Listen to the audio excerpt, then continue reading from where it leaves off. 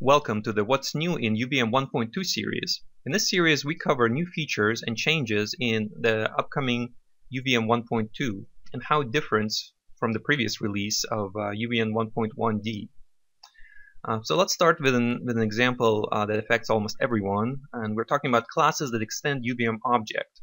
So in the previous version if you had a, a class extending UVM object you can um, actually not even have a constructor. You can comment this constructor completely out of the code and the code will still run fine. In this example we have a UVM object and then we basically have a UVM test that creates an instance of that object and prints out that object's name.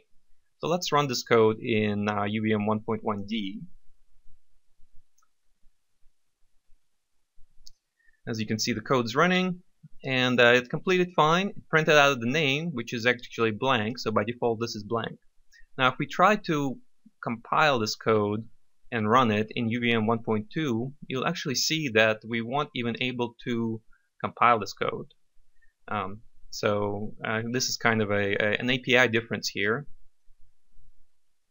But if we do want to revert to the old behavior, all we need to do is define this uh, define this UVM object do not need constructor in our compile options. And now if we run, the behavior will be the same as uh, 1.1d. Okay, the run completed, um, same behavior. Now the recommended thing to do is to actually have a constructor in your code and this constructor needs to uh, have a parameter of type string.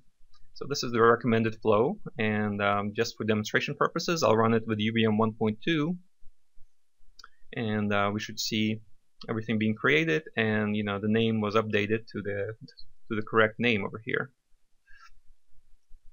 Okay, uh, in future videos we're going to be covering many more uh, features of UVM 1.2.